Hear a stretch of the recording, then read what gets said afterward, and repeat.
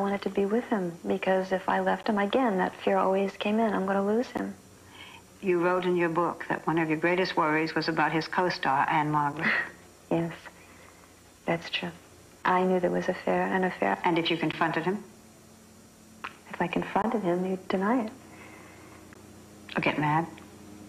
Well, that's usually what happens yeah. when you're caught. so you live with that? Yes. You wrote, Elvis controlled your looks, your clothes, your hair, your makeup. He controlled you totally. Is that accurate? Mm-hmm. I was definitely under a, a spell of um, of what I thought was love, and I I had to take responsibility for that too. I knew nothing else.